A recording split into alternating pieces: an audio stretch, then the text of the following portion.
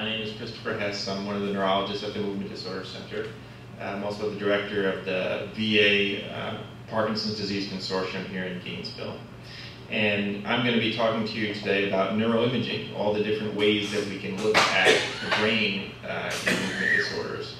And the reason why I think this is an important topic for people that are relatively new to Parkinson's disease is because what usually happens, sir, um, what usually happens is patients will come to a movement disorder center and they'll wait three, four, five months sometimes for their appointment and they'll meet their doctor and they'll examine them and talk to them and, and they'll say, okay, you have Parkinson's disease. And very often the patient will say, that's it? I mean, you looked at me for five or ten minutes. What, what about the tests? What about the, the, the big, long technical things with the abbreviations like MRIs and CTs and DAT scans and, and EMGs and EEGs? Well, where are all these tests? Aren't you going to do these to make sure that I really have Parkinson's disease?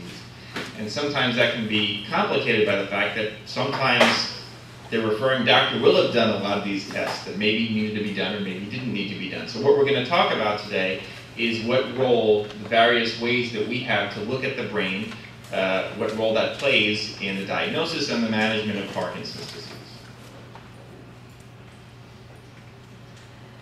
So the role of imaging in Parkinson's disease is changing.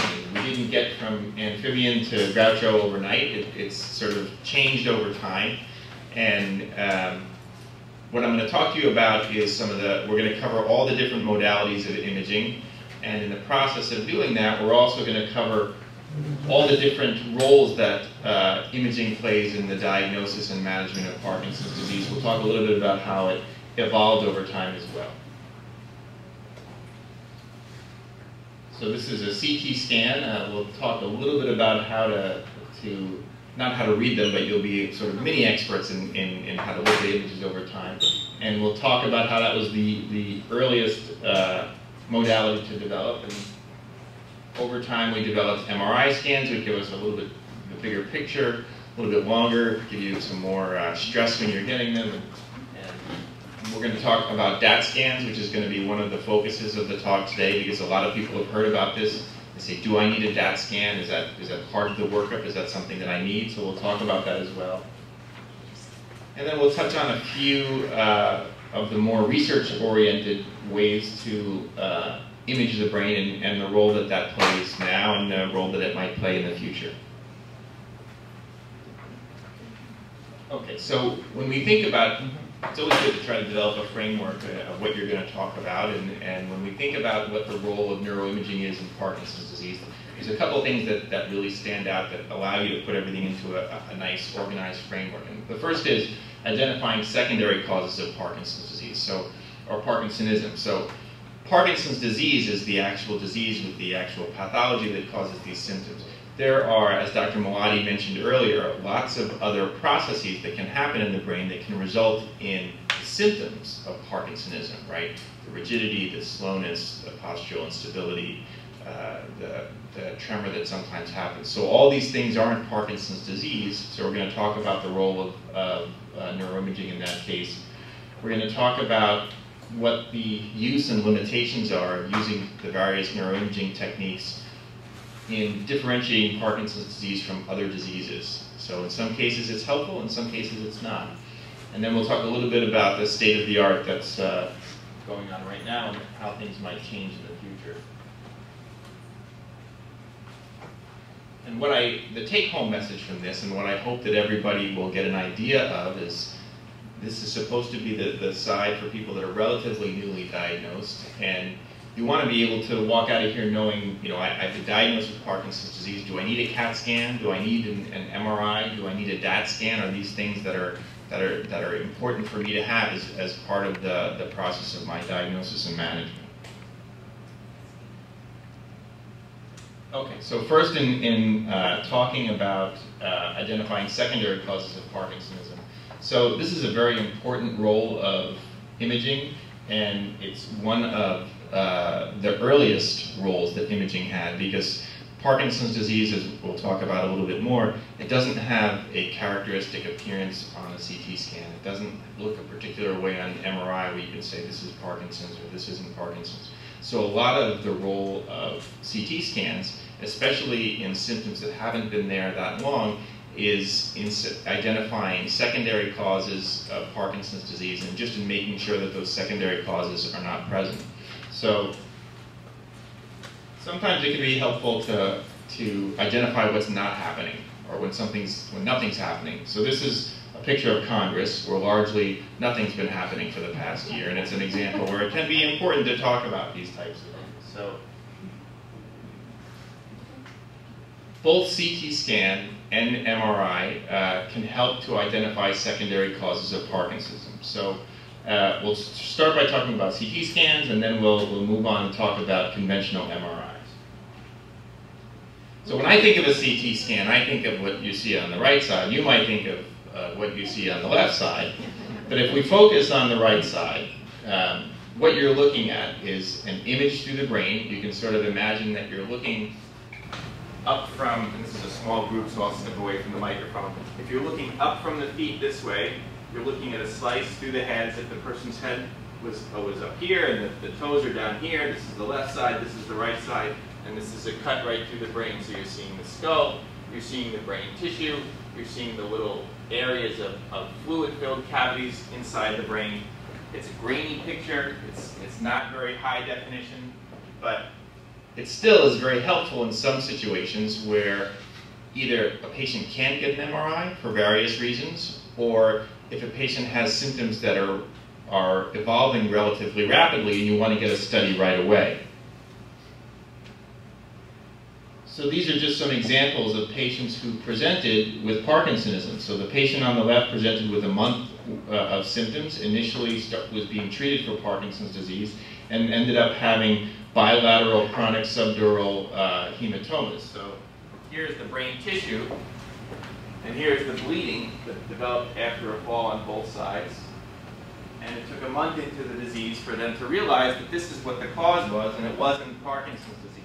The patient on the opposite side had a meningioma, and you can see here, this is again a CT scan, here's the tumor.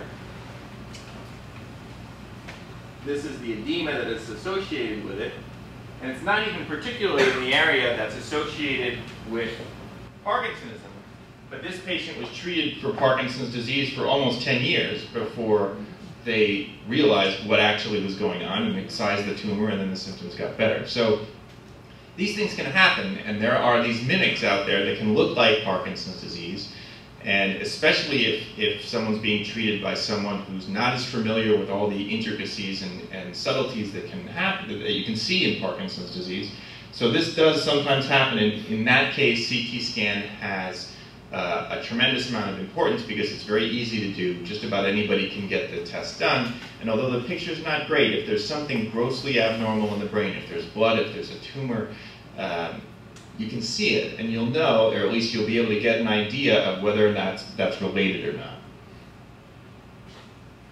So in thinking about, okay, I have Parkinson's disease, do I need a CT scan? You don't need a CT scan if you've been diagnosed with Parkinson's disease. In general, one of the themes that I'm going to be talking about, both with regard to CT or MRI, if you have very classic Parkinson's disease and you're seeing a neurologist who's very experienced and knows when things look a little bit off and you're worried a little bit and you might want to get an image just to be sure, or when you have classic Parkinson's disease where there's really not much of a, a, a need for imaging, uh, most guidelines don't require imaging in Parkinson's disease, and certainly there's no requirement of a CT scan. So if you've been diagnosed with Parkinson's disease and you've never had a CT scan in your life, don't worry about it.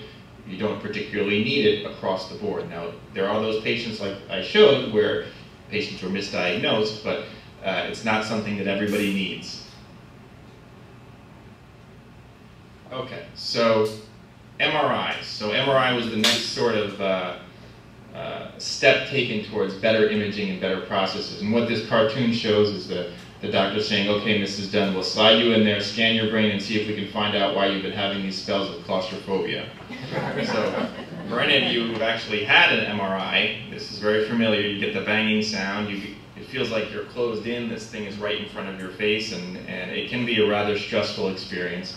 But the pictures that we get from an MRI are significantly better than what's available, uh, what had previously been available from CT scans. And preferentially, if there's a reason to get brain imaging, we try to get an MRI unless there's some reason not to, if there's a reason to get it. So again, all these, these pictures, most of them are the same orientation where you're looking from the feet up. Here you see the eyes, here's the brain structure. This one you're looking from the front to the back, and these two are the same. So in these cases, you can see the, the you don't have to know the details, you can, I pointed out the brain structure, you can see that the picture just looks better. It's easier to see. It's got a, it's like looking at a better TV compared to a TV from the 1960s. And in these cases, these were all patients who had Parkinsonism, and this was a patient with vasculitis who had a very strategic stroke in a very important area. This was a patient who's had multiple stroke risk factors and had multiple strokes over many years. So they actually had what's called vascular Parkinsonism, not Parkinson's disease. And this is a patient who has lesions in the area of the basal ganglia, which is the area that's involved in Parkinson's disease due to renal failure. And so their symptoms were actually due to a metabolic cause. So all these, these things can be seen on MRI. Some of these can be seen on MRI where you wouldn't see them on a CT scan. So another group of examples where it's really important in these particular cases uh, to go ahead and get imaging but remember, these patients probably didn't look like the regular characteristic Parkinson's disease patient. They were Parkinsonian, but there were things about them in most cases who have one of these diseases where red flags would go up for the clinician who's experienced with Parkinson's disease to be able to say, you know, I think that there's something just not quite right here. I think we really need to go ahead and get an image to make sure that, uh, as we said, as we showed in Congress, nothing else is going on. So you've been diagnosed with Parkinson's disease. Do you need an MRI? So a lot of times, if you do get the diagnosis, uh, by the time people see us at the Movement Disorder Center, often they've already had an MRI, and usually it doesn't show anything. And MRIs in patients who do have Parkinson's disease that's due to Parkinson's disease and not some other form of Parkinsonism, they don't really have anything that's clearly visible on a regular MRI that's specific for Parkinson's disease. So it's not going to give you a diagnosis by getting an MRI. Just like CT scan is not going to give you a diagnosis, and EEGs where they put the little electrodes on, and EMGs where they put the needles in, none of that is going to be characteristic for Parkinson's disease. None of those tests are really available. So this sort of brings us back to that uh, patient who came into their doctor's office after their long wait and said, wow, that's it. You really, you're, you're, you're, making the diagnosis based on how I look, and that is how the diagnosis is made in the vast majority of cases. I do have a lot of instances uh, where I will get brain imaging if even the slightest little thing makes me worry that there could be something other than very typical Parkinson's disease.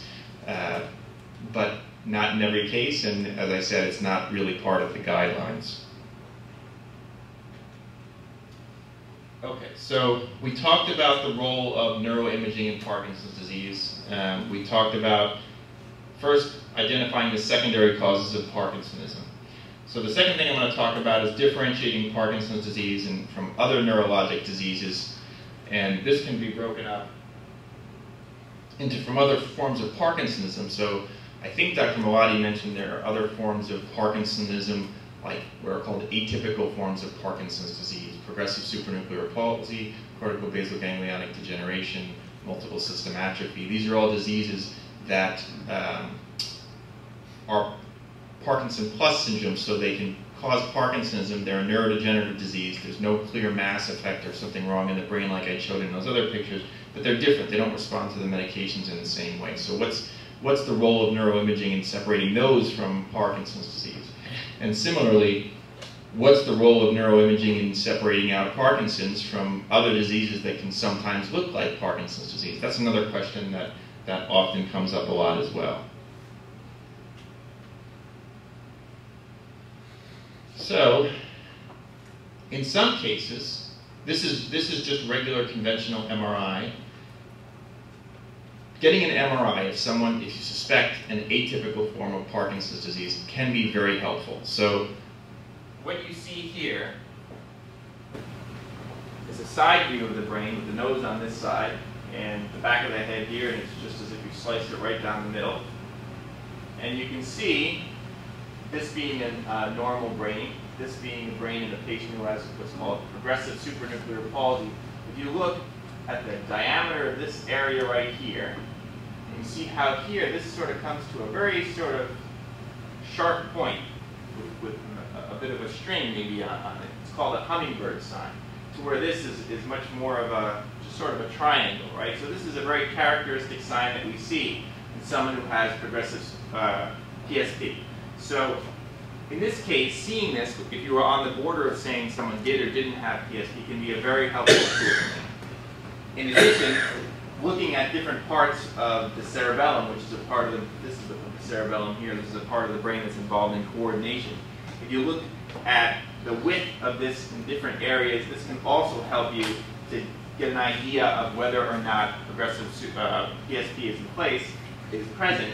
And there are studies that have been done looking at what's called the magnetic resonance Parkinsonism index. So basically they just do a calculation based on some of these numbers to see if there's if the numbers that they see match more of what's uh, typically seen in Parkinson's disease or more of what's typically seen in PSP. So at least in this example, you see here, this is the range of, of numbers that's seen when you do this calculation in, in, regular people, people with possible Parkinson's and probable Parkinson's disease, and you see the range is pretty different in people with PSP. So when it's there, this is a very helpful tool. And if you suspect atypical Parkinson's disease, most neurologists will go ahead and get an MRI to see if those, those hints are there to help us to try to get an idea of whether it's present or not. Sometimes you can tell just by the clinical presentation, but sometimes you can't. Sometimes regular Parkinson's disease can start to mimic some of the other diseases. So this would be an example of where getting a conventional MRI could be very helpful.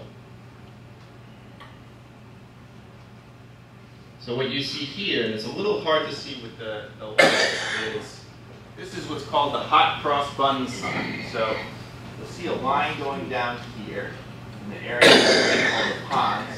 And when you have degeneration in that area, normally you don't see this cross. And when this is there, it's pretty sensitive for people who have what's called MSA. This is what's called the morning glory sign. It's named because the, the appearance of the brainstem in this particular area gives an appearance like the morning glory flower to where typically you have a bit more of a rounded appearance here. So these are all qualitative, meaning that someone looks at it and makes the decision normal or not, um, bits of information. So they're very helpful uh, in some situations, but they're, it's not like there's, so we talked about the numbers that they calculate, but that's not a, a process that's FDA approved, for example, for the diagnosis of one disease versus the other. So these things are hints, the things that can help a clinician in the same way when we test your reflexes or when we test your, your memory of your thinking. These are things that we can use to help make the correct diagnosis, but they don't stand uh, independently on their own. But these are examples where you can sometimes get an idea that an atypical form of Parkinson's is in place just by going ahead and getting the MRI. But as I said before, not everybody needs it. So this is what's called an FDG PET scan. So over the years, uh, primarily uh, one researcher in Long Island has taken lots of patients who have Parkinson's disease and looked at how the brain metabolism works in different areas of the brain. And what he's found is that in general, patients with Parkinson's disease have a pretty consistent pattern of increased metabolic activity and decreased metabolic activity in specific areas of the brain. So this test is very helpful from a research point of view. Um, it, it's available and there's, there's a researcher that's local to you that can actually do the test and give you some information based on their research, uh, it can be helpful. And I've used it clinically before, um, especially when I was close to the doctor who had developed a lot of this stuff. It's a little harder when you're not right there, and, and it's not a test that's largely available to most people. Uh, there's not a place in Florida that I'm aware of that you could get this test done and they'd have the full research database to where it would be very helpful to do. But again, it's called an FDG PET scan. It's not FDA approved. It can be helpful in some situations. There are patterns for the other different types of Parkinsonism. There's even patterns that they've looked at for essential tremor. But again, it's, it's a tool. It's, it's one part of the full clinical impression that uh, a neurologist uses to sort of make uh, the decision about whether what, what disease someone has. So if you've heard about FDG PET scans or you have a friend or, or you read about it, uh, it's not something that's generally part of the uh, typical clinical evaluation for a patient who has Parkinson's disease. So some people might have heard about ultrasounds and getting an ultrasound uh, of their brain to help in the diagnosis of Parkinson's disease. You might see this coming out in the, the literature that's coming out of Europe. Uh, there is research being done looking at trying to tell if people have Parkinson's disease based on the area of the brainstem uh, or an area of the basal ganglia and brainstem that's involved and degenerates in Parkinson's disease. But it's not that popular here in the United States. It's not FDA approved. And one of the reasons is, so this is what you actually see. And there are some people that are very, very good at looking at these. But what most people see when they look at this is just a whole lot of jumbled garbage. And it takes a lot of training and a lot of skill. And even when you have that level of training and skill, a lot of patients don't have the, the, the uh, necessary thickness of the bone in the, in the temporal area of the brain to actually do this. So if you've read or heard about um, doing ultrasound, transcranial ultrasound for diagnosis of Parkinson's disease, there's research being done. It had been exciting at one point. I think it's sort of tapering off with regard to the excitement, although there's still some groups that are using it. There's definitely no indication that anyone, if you've heard about it, that's been diagnosed with or, is or your doctor's considering the diagnosis of Parkinson's disease, there's really no reason to get a, a transcranial ultrasound. So this is just, again, a, a picture of that. Um, so the DAT scan. This is this is the test that everybody usually wants to know about. This is the one that people have heard about. Uh, sometimes people will come to us with the, having had the test. This is the, that's off of the DATScan website. I guess they've had the test, that he's very happy, his son is there with him. They're all very happy that they've had the DAT scan. So do you need the DAT scan? Uh, this is a question that comes up a lot. So what the DAT scan is, is there's, there's a variety of of chemicals that are present in dopaminergic neurons. And you can make a chemical, like an exam for example, the DAT scan, you, there's a chemical that's taken up by a particular transporter, what's called the dopamine transporter. And if you make a chemical that binds there and then put a little radioactive tracer to it that won't hurt you in any way, but it'll allow us to image each one of these. So if, if, if the, the chemical is taken up by this transporter and it's got this little radioactive part to it that makes it visible on imaging because it's giving off very, very small amounts of radiation, it allows us to get a visual image of the area of the brain where this type of neurocommunication is taking place. So here you can see on this side, you have pretty bright, what's called caudate areas, and a nice little tail that comes out here. They're relatively symmetric. Where on this side, you have loss of the tail on both sides. It's not as bright in the caudate area, and it looks much more asymmetric, uh, one side compared to the other. So that's the DAT scan, and that's what we see. In the vast majority of locations and places, this is a qualitative diagnosis or decision that's made, meaning you go and you get this test done, and then the radiologist looks at it the same way that we just looked at it and says, normal or abnormal. There's no, um, it's not like when you get your blood taken and, and they're looking at the glucose level and you get a number and you know what the normal range is. This is just that radiologist's opinion of normal or abnormal. And, that, and a lot of times that people will describe it as either comma-shaped or dot-like. So couple quick things about the DAT scan. If people do get it, they need to take a iodine to protect their thyroid because it's radioactive. Um, you have to there's a, time window that you have to uh, take the, the reagent before you actually get imaged. Then there's a time window that you have to do the imaging. All that has to be done at the right time or else you can get spurious or incorrect results. Uh, and these are some of the patterns that you can sometimes see. So the normal pattern you see on top, the asymmetric patterns abnormal, bilaterally decreased and asymmetric, and then absent binding on both sides on the bottom part, and then asymmetric on the top. Those are just some of the, the patterns that we sometimes see.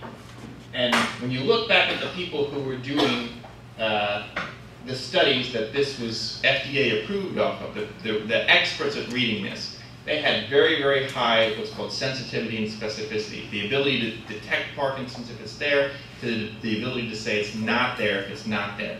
So it's a very useful tool, especially when these people were doing it. Now there are some problems associated with this.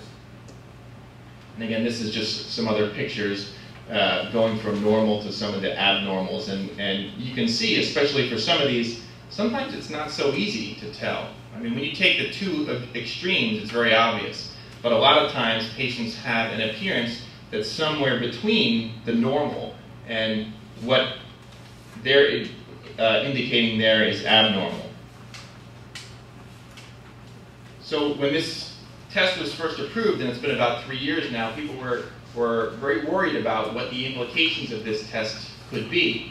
It's a great tool if you're getting your care at a tertiary care movement disorder center where your doctor is very, very experienced in, in movement disorders and uses the test only when it's appropriate to use it, only when it can give useful information and not potentially send you in the wrong direction. So there was a study done in 2010 uh, where they looked at this type of image and they used 30 nuclear medicine physicians, are the ones that read it, that have what's called some experience with this type of test. They took 12 scans. They said to the doctors, here are the 12 scans. You look at all of them. You tell me if it's normal, abnormal, or equivocal, meaning that you're not sure if it's abnormal or not, right? These 12 scans were, were pulled out of a database of about three or 400 scans specifically to cover the full range of what's out there. So this was the degree of, of uh, agreement. So in one case, the percentage agreement was only 30 to 39%. And that happened all the way up, so there were four cases where the agreement was very low. 100% only occurred in three out of the 12 cases. Only two cases where they agreed 90 to 99% of the time, and three cases 70 to 79% of the time. So what does this tell us? This definitely tells us a couple things. This is an FDA approved test that your insurance will pay for. And every radiologist who will, could get paid for this test will do the test. If you go to a, a center and you say, do you do DAT scans? As long as they have the FDA, uh, the approval to do it because it's a cocaine analog, they'll do the test. But it doesn't particularly mean that they have the experience to read the test correctly. And what you're seeing is an example of that. Uh, a wide variety of experience in reading it. And remember, this isn't like reading the, the blood test. This is just we, the same way that we looked at it, they'll look at it on a computer and just say it's normal or it's abnormal. So this is something that really needs to be considered. The DAT scan also doesn't differentiate between the various neurodegenerative forms of atypical Parkinsonism like PSP, MSA, Parkinson's disease. All of them will have an abnormal DAT scan. So this, the test will not be helpful in differentiating between these diseases. Where it will really be helpful, and especially to the experienced movement disorders expert, is if they're not sure about whether this is Parkinson's or drug-induced Parkinson's disease, or if they have a strong suspicion for vascular Parkinsonism, or uh, if they think that there's a possibility that um, you have, for example, essential tremor. And some patients with essential tremor can look just a little bit Parkinsonian. And for that reason, it can be helpful to get the test done. So you've been diagnosed with Parkinson's disease. Do you need a DAT scan? For the vast majority of people that have been that have been diagnosed by someone who's an experienced doctor who sees a lot of patients with movement disorders, no, you don't. In the vast majority of patients that I see, I don't even think about doing the DAT scan because it's not going to provide any new information. And sometimes when you do it, you just don't even believe it because you can see that the patient has Parkinson's disease. And if they do the scan wrong or they uh, develop a, uh, if there's a problem with the administration of the medications, then uh, they can give spurious results. So we talked today about what the indications are for the various different forms of neuroimaging that's available, CAT scans, MRIs, DAT scans. We don't have time to talk about uh, what's sort of on the, the, uh, the research pipeline for, for uh, developing new methods of neuroimaging, but one last slide that I want to show is how the neuroimaging techniques that are being developed might influence the neurology and movement disorders consult of the future. So it's possible that five, ten years from now, you might go in to see your movement disorder, your, your neurologist, and in addition to doing the clinical examination, you'll be videotaped. And I don't think this, this video may or may not work, but we'll see. This is just a, a, a, some studies that I did a number of years ago. They'll take your movements, they'll quantify them, they'll actually give a number to, the, to some of the things that we look at visually. You'll go ahead and get an MRI that's, that gets done. It'll confirm your diagnosis in a way that we can't do right now. You might get a connectivity study that will tell you in the future potentially what your risk is based on the pattern of neurodegeneration that's developed uh, in you, whether you might be more likely to get apathy or more likely to get depression or some of these other things that Dr. Bowers talked about. And these are things that are potentially on the horizon uh, and ways that neuroimaging can contribute to the continued management and to the diagnosis, diagnosis of patients in the future. So thank you all for listening, and I'm going to stick around for a minute if any of you have any questions.